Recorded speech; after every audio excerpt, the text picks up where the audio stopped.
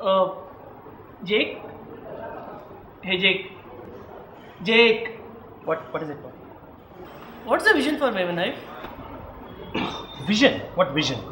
Vision, you know, like where will we be in the next three years and things like that? Why are you asking me that question? Dude, you are the co-founder, aren't you? What? Just because I'm the co-founder, I'm supposed to know the answers to such questions? Difficult questions? Well, unless founders have really grand visions, why will anybody be excited to work here?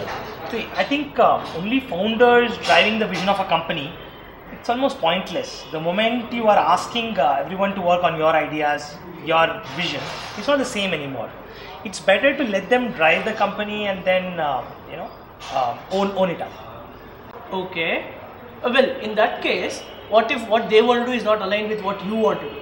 If enough number of people are not aligned with what I want to do, then it's like forcing them to do something that they did not want to do in the first place. So it's, it's only going to frustrate them. I would rather work with a team uh, which is happy doing things on their own and driving things on their own and not waiting for me to tell them what to do. Okay. In that case, well, Maven still does not have a vision now, does it? Uh, see, the only concrete thing I want for MavenHive is to make sure everyone is happy doing what they are doing and they get, uh, you know, they get to do things which they've never done before. Everything else, including growth, technology, projects, you know, these things will work out based on people's aspirations. Um, if that's what you mean by vision.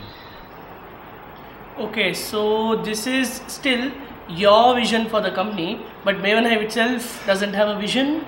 You know what? Let's not use that word vision. It's too. It just sounds too grandiose. Let's stick to what you want to do, what I want to do, and what everyone else wants to do. Hey guys, can you please get back to work? Look, But wait, what was the vision again?